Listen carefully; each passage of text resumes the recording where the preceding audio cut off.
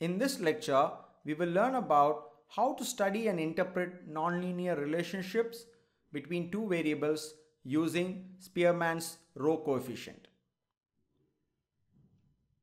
Now let's find out if there is any relationship between experience and salary. So I have collected data of a person across his entire career starting from the day he joined we collected data points of his salary and his experience till he retired.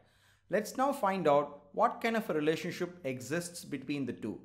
And firstly, is there a relationship at all? So here we have this data.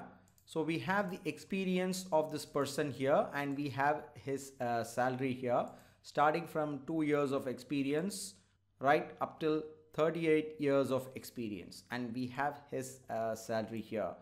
You could see that this guy has seen a phenomenal growth in his salary as he has aged.